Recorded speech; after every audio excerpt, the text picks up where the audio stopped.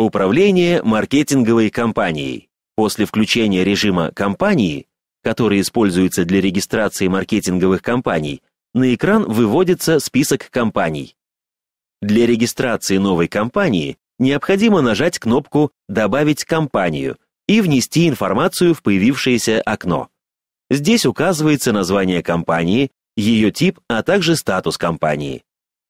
В раскрывающемся списке можно присвоить один из трех статусов, таких как «План», «В работе», «Выполнено». Также существует статус «Отмена». Далее указывается дата начала и дата завершения действия кампании. Также можно указать планируемые даты проведения кампании. Затем указываем требуемую цель. В обязательном порядке назначаем ответственное лицо, которое будет отвечать за выполнение данной кампании. Ниже необходимо указать планируемый и фактический бюджеты. А также можно спланировать и указать ожидаемый отклик и ожидаемую сумму продаж.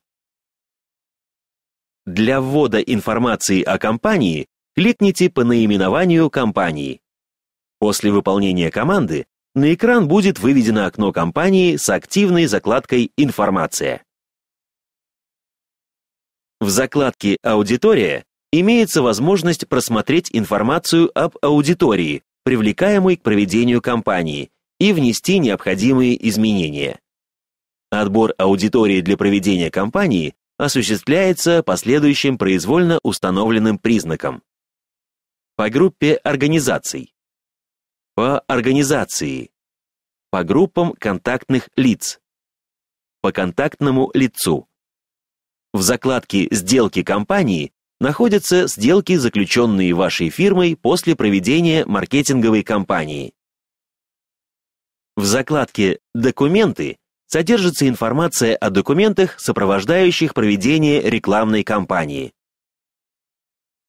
Существует возможность и подключить к маркетинговой кампании уже существующие и введенные в базу данных документы или добавить новый документ в систему, после нажатия соответствующих кнопок и ввода данных в окно.